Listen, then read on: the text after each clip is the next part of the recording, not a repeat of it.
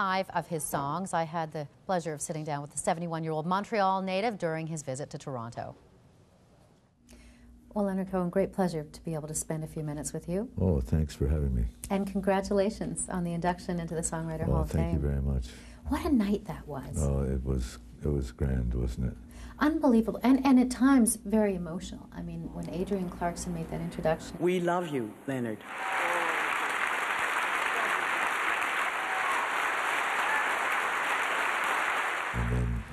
Willie Nelson's. Like a bird on a wire.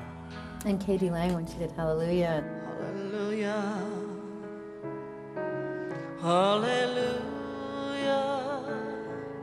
You said at one point that you didn't know where the poems, where the songs came from, but if you knew, you said you'd go there more often. That's correct.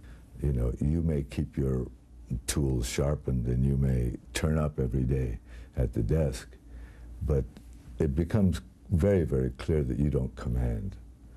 Uh, uh, and you don't, uh, the songs come unbidden. Suzanne takes you down to her place near the river you can't produce the good lines at will. They come. They come from elsewhere. I don't know where they come from. And the whole damn place goes crazy twice, and it's once for the devil and it's once for Christ. By the boss don't like these dizzy heights. We're busted in the blinding lights of closing time. You have done so many phenomenal things um, in your career and the business can chew people up and in, at times you go through and have gone through your troubles how have you over the years maintained your mental your physical health that kind of thing because you, you, went through a very rough time and then went to yes, the monastery. I, yeah I, I did I, I, mean everybody knows a bit of trouble in their lives and I've certainly known it myself.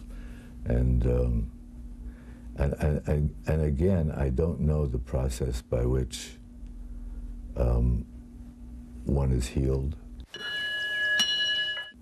I had wonderful teachers and, and, and great support in my life, and um, at a certain point, that background of anxiety and anguish lifted. I don't know why. And now um, you're back at work?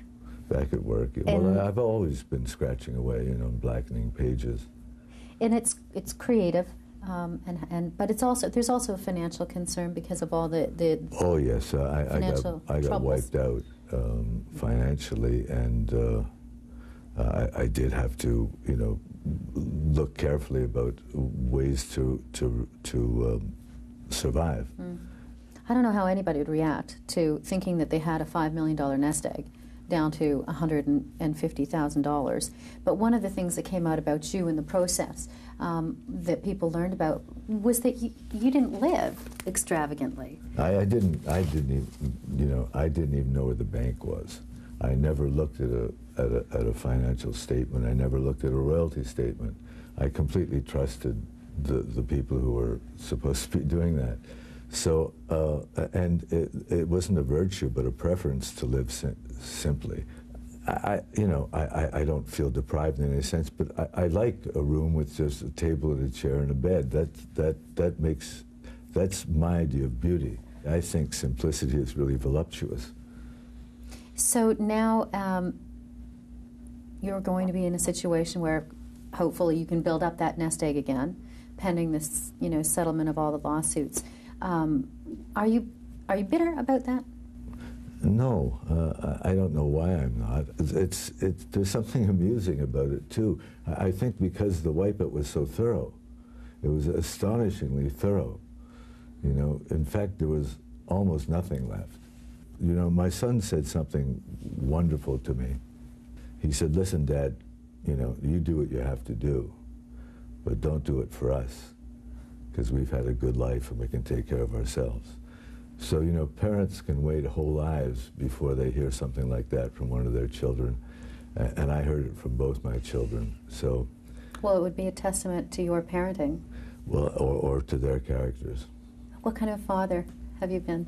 Uh, you know, it's it's a mess like everything else. you know, I've tried my best but it's a learning process. well, I mean, nobody nobody gets it right, you know. Um, when you talk about someone's legacy and when you look at your body of work so far, What would your What would you like your like? What you How would you like people to think of you? You know, I, I, I always thought of myself in, in, in a different way as a minor poet. Maybe, you know, you know, if I could have one or one poem in, in, in the anthology, uh, I, it's never been one of my concerns about how I'm, how I'm thought of, you know. You are so incredibly talented and so humble and such a pleasure to meet. Thank you Oh, so much. Thank you very much. Did you see that bow? So Yeah. you saw in my interview, Leonard Cohen spent several years studying Buddhism. He has a book of poetry, by the way, coming out this spring, as well as a new album with his partner Anjani. We'll be talking uh, to them when the CD comes out in May. What an incredible man. He's just a minor poet. A minor poet.